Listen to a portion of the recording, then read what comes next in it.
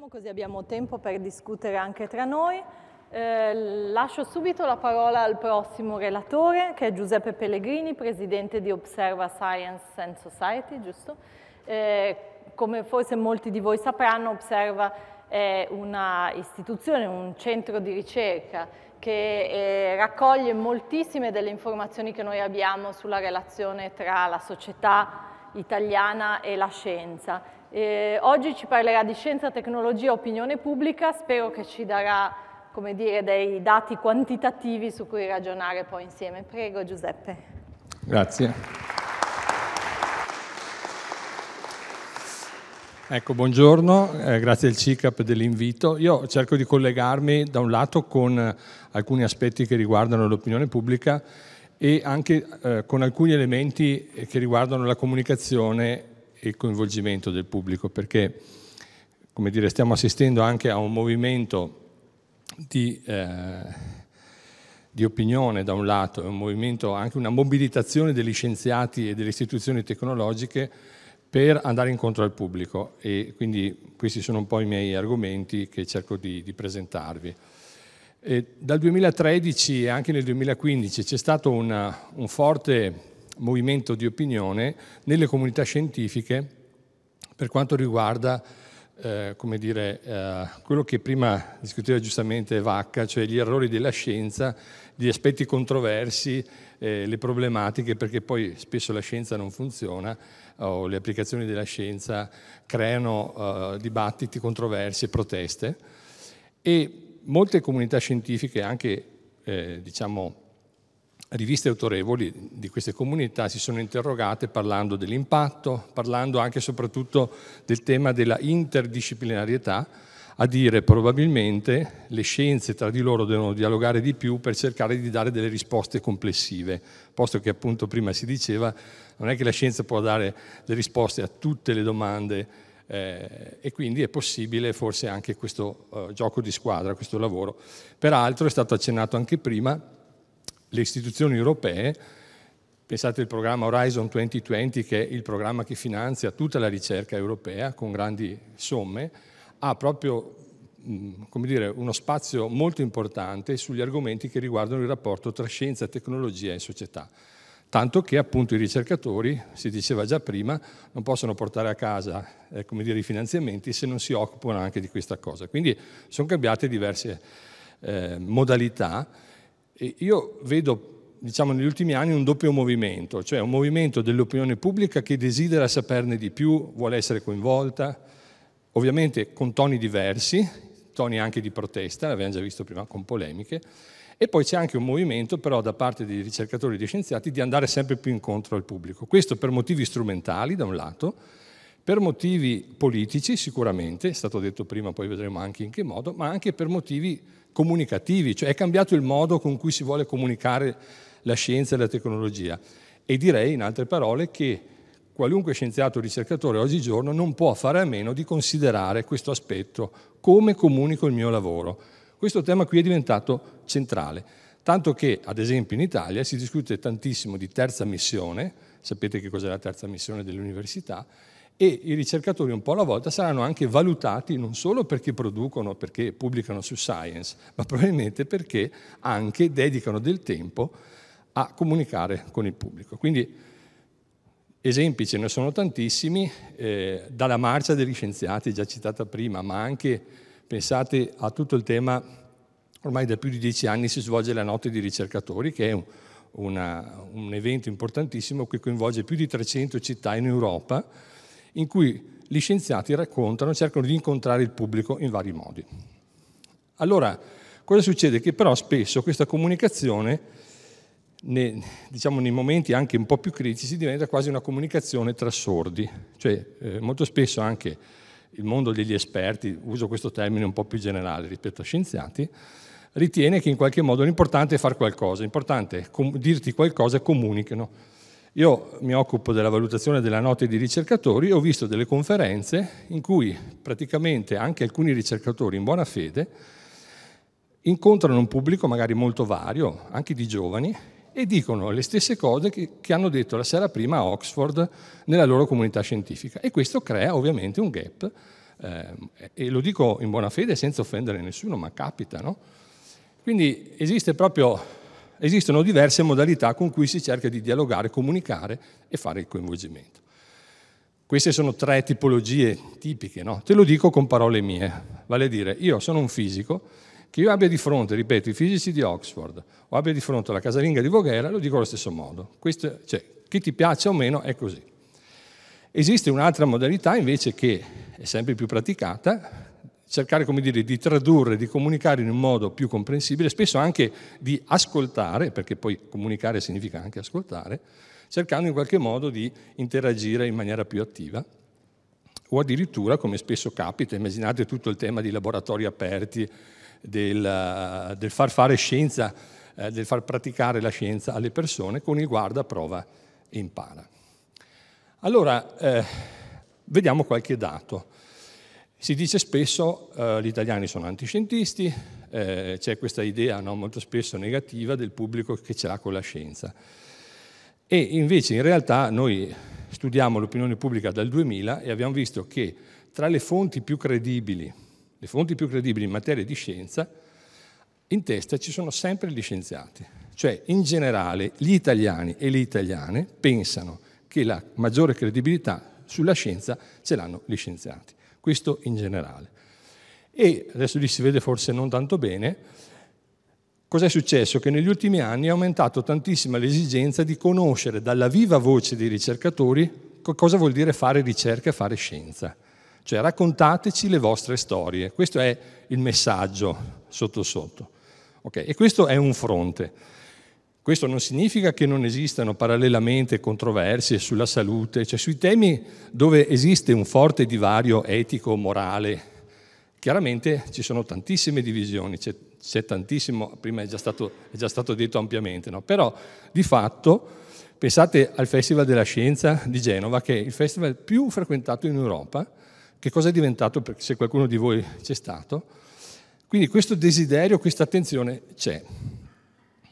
Allora, eh, in più anche se noi parliamo non solo di comunicazione, ma anche di decisioni che riguardano la ricerca, e questo è, un, è un, appunto le politiche della ricerca che è una cosa un po' diversa, lì addirittura tra alcune alternative si dice che la comunità scientifica dovrebbe essere maggiormente titolata perché sono gli scienziati, conoscono bene le priorità della ricerca, cioè a dire gli scienziati nei processi decisionali dovrebbero avere un peso importante maggiore. Al secondo posto anche i cittadini. Questo appunto rientra nelle utopie, nelle utopie di Bobbio forse, però di fatto è un'esigenza. Anche qui qual è il messaggio? I cittadini no, probabilmente non è che vogliono essere onniscienti, però vogliono in qualche modo, in qualche modo partecipare laddove ci sono delle decisioni e contano sul fatto che gli esperti siano una, ris- siano una risorsa importante. Quindi questo è un, un altro elemento. E questo ve lo faccio vedere perché abbiamo fatto una, un test già da alcuni anni per vedere quali sono gli scienziati che hanno una maggiore visibilità in Italia.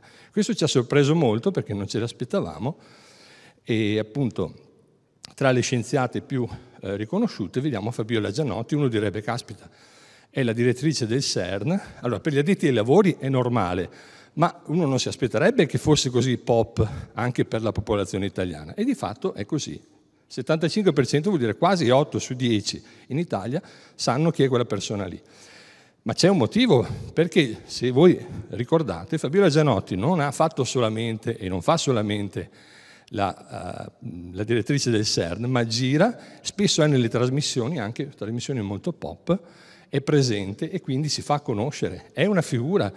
Poi, un po' come anche Samantha Cristoforetti, probabilmente abbiamo anche bisogno di questi spazi di comunicazione che sono anche un po', come dire, degli spazi light, ma sicuramente pongono una presenza, poi vedremo anche altri casi. Allora, cosa succede? Che in, di fronte a alcune controversie è andato un po' in crisi il meccanismo diciamo, tradizionali in cui ci si fidava solo degli esperti e dei politici decidano loro, facciano quello che credono. Gli esempi che qui abbiamo, e vedete, insomma, il nucleare, gli OGM, la mucca pazza di prima, il caso di Bella è un caso esemplare di eh, misconoscenze eh, e uso de, de, de, della cosiddetta pseudoscienza. Però Questo è il panorama e sicuramente questa richiesta di partecipazione va considerata. Il problema è come, eh, come gestirla, come si fa a gestire i processi di decisione in cui c'è una quota scientifica molto importante. Allora io vi dico alcune cose che si fanno in giro, in Italia non tantissimo, ma eh, si fanno, cioè esistono dei contesti deliberativi, cioè dei momenti in cui a tappe diverse i cittadini possono anche, non solo, dire la loro, ci sono dei momenti per gli esperti e per i decisori, ma alla fine i decisori, siamo in democrazia, democrazia rappresentativa, alla fine qualcuno deve decidere. Quindi esistono dei percorsi già sperimentati in cui è possibile accogliere questa domanda dei cittadini, ovviamente deve essere fatto in un modo ordinato. Ecco, questo è il problema, non può essere solo come dire, un moto di protesta o fare un, un sondaggio nei social. Esempi, adesso io non entro nel dettaglio, ma era solo per completare il quadro del discorso su scienza e democrazia. Esistono degli strumenti con cui si può anche giocare a questo uh, livello, sia di comunicazione sia di inclusione laddove si devono prendere delle decisioni.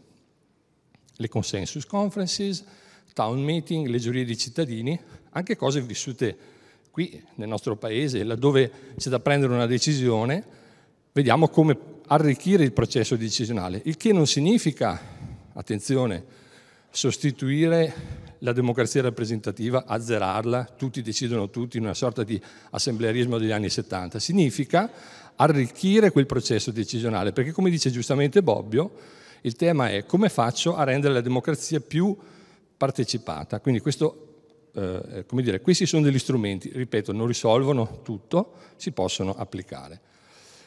Allora, in definitiva, dal punto di vista della comunicazione, che cos'è che sta cambiando e probabilmente anche se non vogliamo cambierà?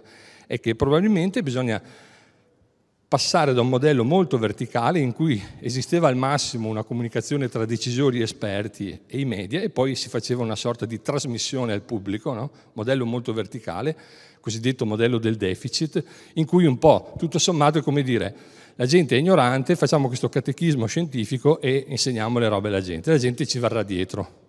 A maggior comunicazione uguale maggior consenso. Niente di tutto ciò è vero, anzi molto spesso, anche nei nostri dati, che cosa viene fuori? Che sono spesso le persone più colte e più informate che sono contrarie, che sono contrarie a questo modello qui. Un modello forse più credibile, è un modello più circolare, più, fra virgolette, incrociato, di fondo, in fondo questo, questi tre giorni sono questo modello qui, cioè a dire non è che la verità ce l'hanno solo in tasca gli scienziati, probabilmente ci sono del, delle modalità di condivisione e no, non dobbiamo spaventarci, anche in maniera umoristica come è stato fatto all'inizio di questa uh, mattinata, se mettiamo anche un po' in crisi la scienza, ma sono gli stessi scienziati che sanno benissimo che non esistono certezze eh, incontrovertibili, che non si po- possono mettere in discussione. Le esperienze di dialogo possono essere tante, qui sono già state accennate, gli Science Café, cioè ci sono tanti modi con cui ci si può parlare tra cittadini, esperti e scienziati, bisogna saperlo far bene però, ok? Perché sennò è come andare con il frac in spiaggia, cioè non si può fare il discorso di prima, cioè, ti porto, te lo dico solo con parole mie, forse devi cambiare modalità e in questo mi sento di dire, non è detto che tutti i ricercatori, tutti gli scienziati debbano essere per forza dei bravi comunicatori. Esistono fior fior di comunicatori, di giornalisti che fanno benissimo il loro ruolo di mediazione e quindi mm, non è necessario che tutti siano anche i ricercatori ottimi. Certo, secondo me non possono prescindere da questo aspetto, cioè se tu vivi oggi nel 2018, vuoi fare ricerca a un certo livello e non consideri l'aspetto della comunicazione, ti escludi completamente. Altre esperienze sono anche quelle della citizen science, anche qui mi sento di dire, si parla molto della cittadinanza scientifica, che non è solo reclutare un po' di gente perché abbiamo bisogno di fare un po' di calcoli, significa anche avere un rapporto con il pubblico anche per accogliere alcune istanze che probabilmente spesso anche dalle comunità locali sono estremamente interessanti anche dal punto di vista scientifico. Ecco, per concludere, eh, una citazione che mi piace molto di Anne Rowe, proprio dagli, dal, già dagli anni 50, che diceva appunto come sia rilevante la comunicazione per fare coinvolgimento e quindi in estrema sintesi perché la scienza sia anche un po' più democratica. E questo esempio che vi ricordate nel 99 quando Dulbeco partecipò al Festival di Sanremo con tantissime critiche da parte della comunità scientifica, ah, ti brucerai, oppure chi, chi, i malini dicevano eh sì adesso tu sei a fine carriera, te lo puoi permettere, tanto non perdi niente. Però lui interpretò in maniera ottimale quel ruolo perché seppe stare in quel contesto nel modo giusto, dicendo sono venuto qui per fare esperienze, non vado a lanciare nessun messaggio scientifico. Grazie.